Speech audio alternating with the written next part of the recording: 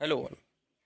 This is Professor Kishore Mane from DY Patil College of Engineering and Technology Kolhapur. Today we learn the exception handling mechanism. So this particular concept is very much useful inside the C programming language uh, and C++ programming language. So first we discuss what is the learning outcome. So you will be able to apply the exception handling mechanism in the program after learning this concept. Also, you will be able to design the user defined exception classes by your own so that you can use it in your program to handle the exception. So first we just discuss what is mean by exception handling. So exception is a program which is arise during the execution of the program. So exception is a runtime error that can be occurred during the program. So exception provides a way to transfer the control from one part of the program to the another. So here we have to avoid these exceptions by safely handling this so that we can terminate from the program after executing the message. So basically inside the c++ the exception handling is built upon the three keywords that is try catch and throw. So here we just discuss the details of the these three blocks so here the try catch block try block identifies a block of the code for which a particular exception will be occur. Okay so it includes the particular code where or in which the exception may occur. So whenever any exception is occurred then try catch uh, try block throws that exception to the catch block. So inside the catch block we have to just write the code which can be executed after occurring of the exception. And the third block is the throw. So a throw block is used to manually throw the exception after the statement by writing the throw keyword and the name of the particular exception. So this is the particular hierarchy of the try and catch block. So one try block and multiple catch blocks can be written for one try block.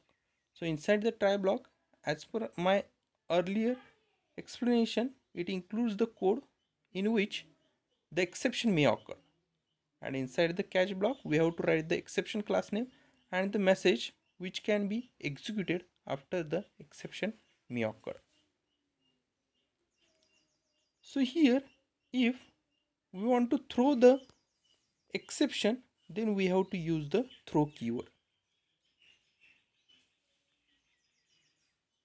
So this is the simple example of the throw keyword.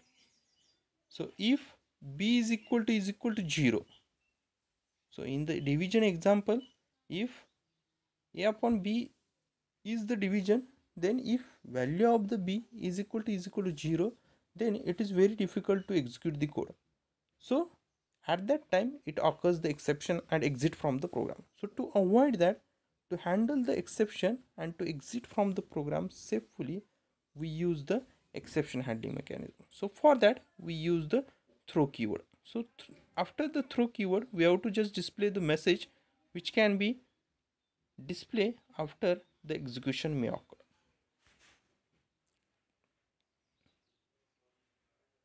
The catch block following the try block catches any exception. So here as per earlier said that catch block catches the n number of exceptions so this is the particular program without the exception handling mechanism. So if a is equal to 20 b is equal to 0 and if c is equal to a upon b then since value of the b is equal to 0 so it just display the error.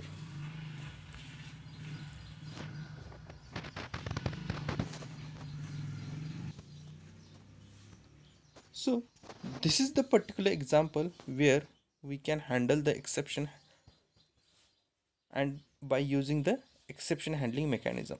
So here we just handle the exception divide by 0 so here if value of the b is equal to 0 then inside the try block we just handle the exception. And whenever if b is equal to is equal to 0 it just throw the exception by using the throw keyword. Else it just display the uh, whatever the else part inside the program. So here one try block again having the multiple catch block blocks to handle the n number of exceptions which may be occurred inside the one try block. So here this is the so here we just take the pause and we just think which are the keywords used for the exception handling mechanism. So i will take the pause. You just think and after that we just discuss which are the keywords.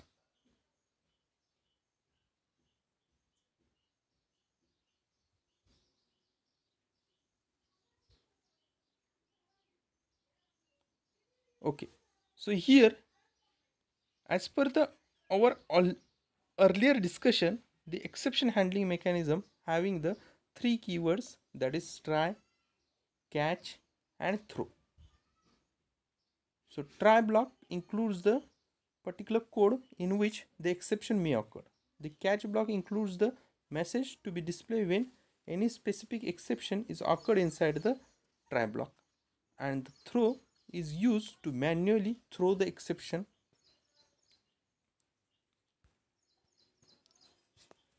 So here C++ contains the different types of the standard exception classes. So the std colon exception is a standard exception class which includes the many different exception uh, exceptions. For example domain underscore error or length underscore error or out of range exception and so on. So this is the description about the exception so if you want to handle the new user defined exceptions that is if you want to create the your own exception then we can create it by using the std colon exception class. So this is how we can create the exception. So we have to create the class my class that is the name of the exception class and we have to exchange the public exception class. And here we just write the message which can be shown whenever the exception is occurred.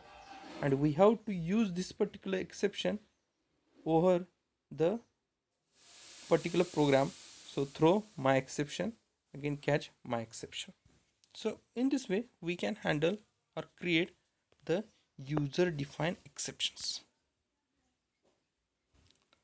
So inside this particular again program if you carefully observe that whenever it just inside the try block if a is equal to is equal to 0 then it just throw the my exception. So whenever it just throw the my exception it goes to the catch block. So inside the catch block it just execute the my exception caught message and it again execute the e dot what function which is defined inside the my exception class. So again if we are we are having the other exceptions than the my exception then to handle the general exceptions we again use the catch exception e class. So exception e class is used whenever you don't know which exception may occur in your program. So to handle the general exceptions we use this particular class. So i hope you can understand this particular exception handling concept very clearly and we can you can able to create the user defined exception classes by your own. Thank you